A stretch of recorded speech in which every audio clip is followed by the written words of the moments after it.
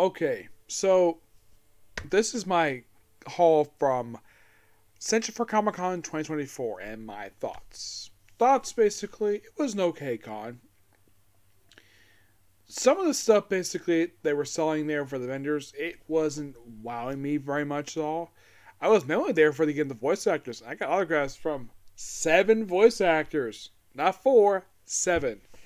Okay, so let's start with what I got. I got a figure of the character of Hinata from That Time in Crimes Slime. A Star Trek book.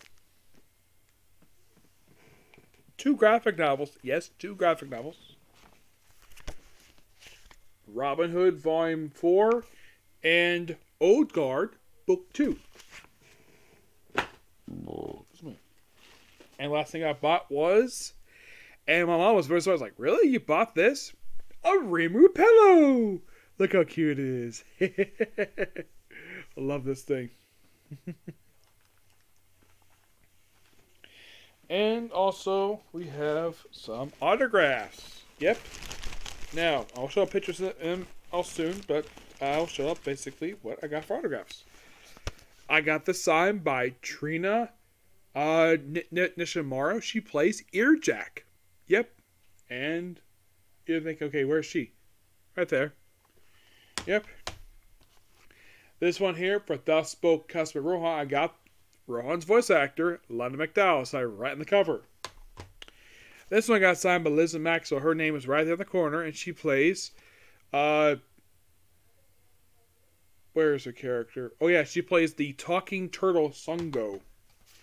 This one got signed by Reba Buhr. She plays Io appears for one episode. This one got signed by Ram's voice actor, Ryan Bartley.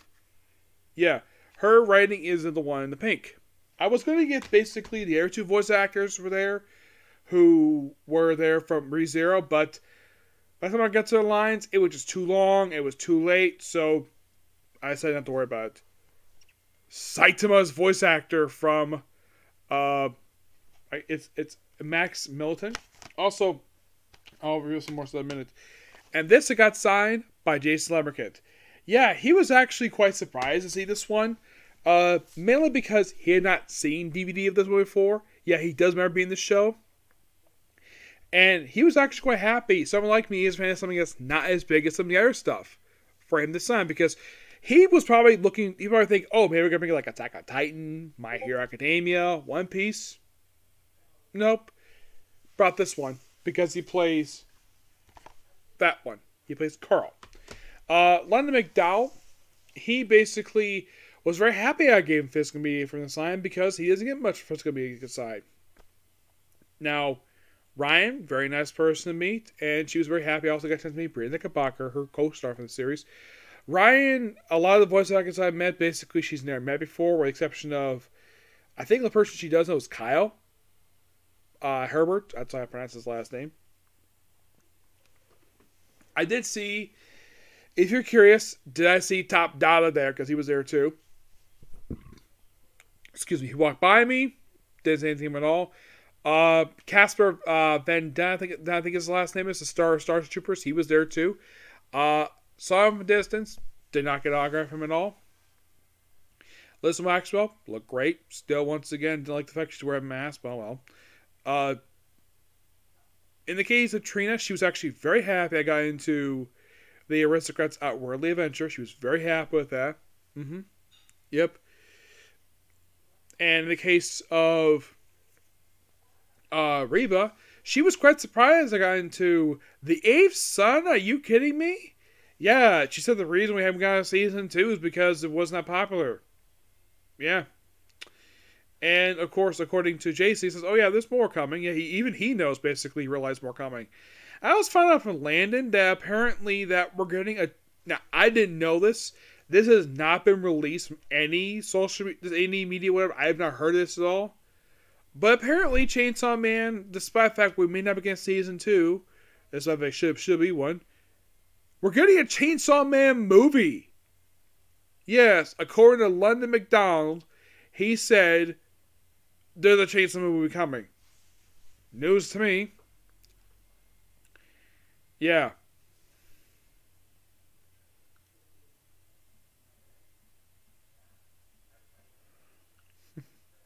oh yeah, Ryan Bartley just like my uh, picture of us on on, twi- on Twitter.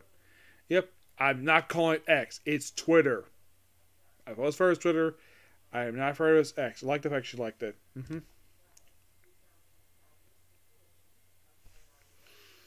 Yeah. So a lot of these voice actors, very nice people to meet. Uh, Jason, he had a bit of a line per se, but I didn't wasn't line for too long per se. Not really. Uh, I did see some very interesting cosplayers. Oh, before I get to cosplayers, I have to talk about pictures. Maybe Lisa Maxwell. And I even told her about my cousin. Yep. Here's uh, Trina Nishimura. Yep, sorry about the glare. Yeah, I even told her I got an aunt with the same name. Yep.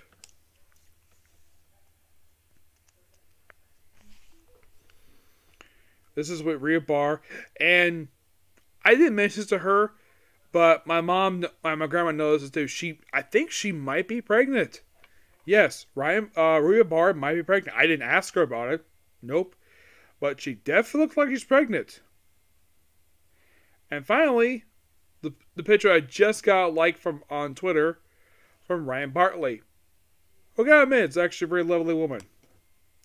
Yeah, and she was very happy the fact I got a chance to meet Brianna. The fact she got a chance now, yeah, but overall, really good stuff here. Like meeting the voice actors, that was fantastic. Loved me every single one of them.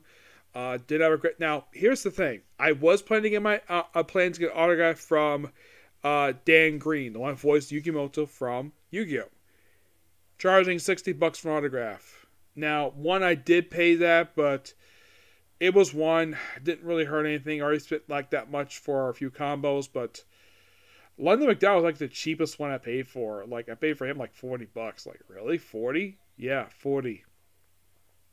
And for him, just an autograph. He was one of two I just got autographs from. Let's see, I got four pictures. Let's see, I got from, like I mentioned, was Elizabeth, Ryan, Reba, and Trina. I got all pictures with four of them. Uh, Landon just got just an autograph from him.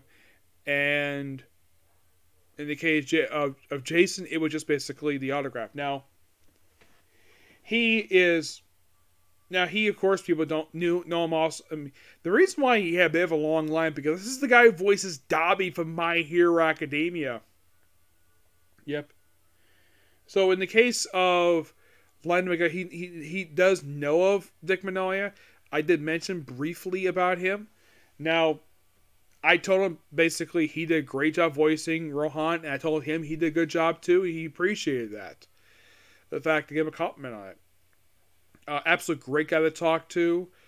Um, one basically that now now Reba, she has met a lot of voice actors per se, but she was not all that surprised to see Demon Slayer. Just the fact, despite like her character for one episode, yeah, and she remembered her scene from the from the episode where the Sound Hashira picked up her character and basically spanked her on the butt.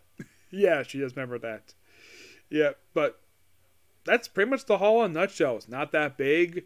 Uh, didn't spend much money this time. Not really. But also, I have a Comic Con to go to in just two weeks. Just about two weeks. In Orlando. MegaCon Orlando. And this one, I'm not going to get any many autographs this time. Not not like seven like it was this time. Oh no, not seven. Let's see. It was four I actually think it was six. Yeah, I think it was six because I got from Trina, Jason, Elizabeth. Uh, oh, because I got three. It, it, actually was it was seven. Yeah, because I got three guy ones. The girls basically I got all basically pitched with them. Here's the strange thing though: two of them basically around the same age. Elizabeth and Trina both forty, but they both look really good for their age. I didn't tell that Trina, but Elizabeth looked fantastic. Yep. But not really much else to say. Okay, so that's a specific view. Next up is going to be, well, I'm going to go straight to Eminence and Shadow. Okay, next view. Bye.